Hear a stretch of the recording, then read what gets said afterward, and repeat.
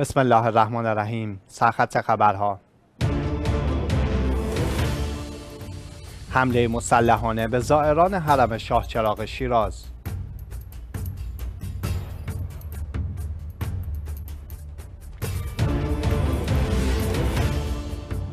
دعوت بنیاد جهانی آیت الله العظما صادق شیرازی از طالبان به احترام به مذاهب اسلامی.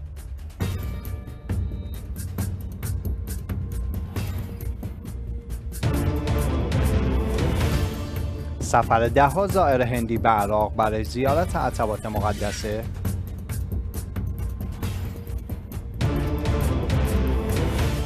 و 2.5 میلیون شهروند نیازمند کمک در عراق.